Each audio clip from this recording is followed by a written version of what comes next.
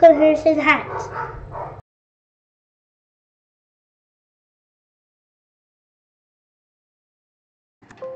Hey guys, welcome back to Harrison Hacks. Uh, today I'm going to be showing you how to use uh, Wood or WUX files uh, for the Wii U emulator within HyperPie PC. Um, now if you watch a previous video I showed you how to, how to uh, compress your WUD files into WUX files.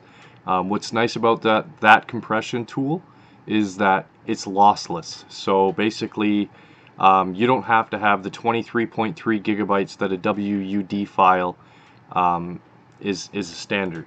You can have it down, um, some games cut in half, this one got all the way down to 2.7. Uh, 2.61 I think is, is what it really is, yeah, 2.61.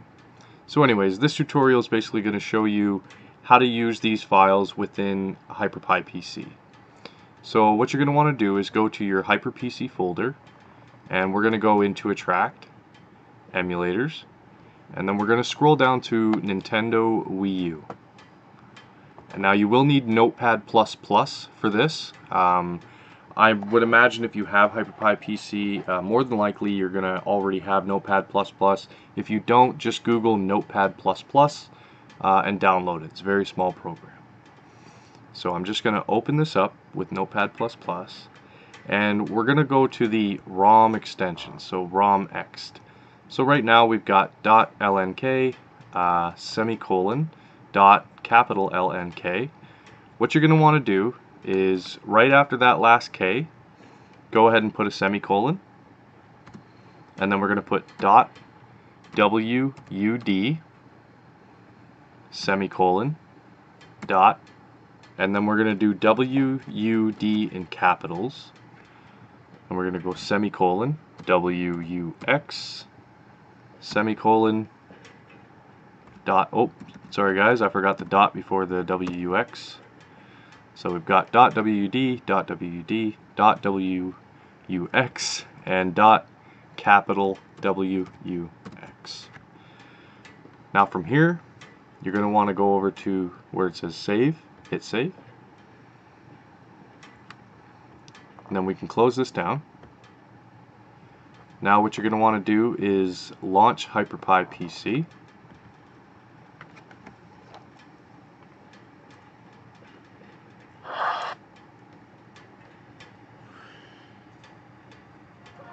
Now press tab on your keyboard. Go up to emulators. And we're going to go to Wii U. Um, it's under Nintendo Wii U, so just go to N, Nintendo Wii U.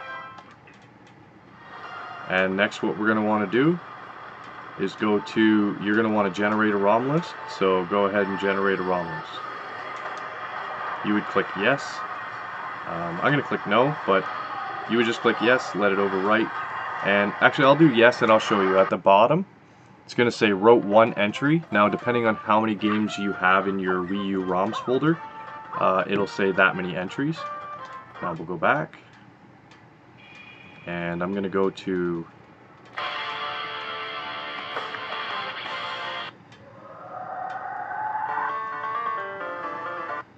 There are a lot of systems for this. Okay, we're getting there. Here we go. Wii U. And there's my Super Mario 3D World. I don't have the snap for it, but uh, I do have the box art. And that's it, guys. Uh, you should be able to launch a game now um, using your wood or WUX files, however you pronounce it, uh, and then you're you're all set. Loading. Loading complete. So I'm just going to make sure that my game launches.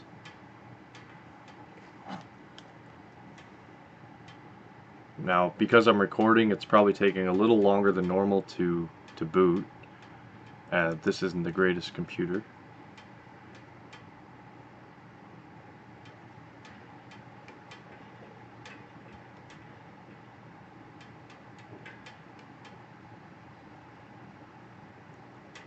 And there we go.